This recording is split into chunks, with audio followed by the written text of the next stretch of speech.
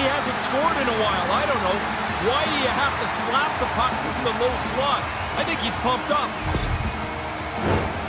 Still lots of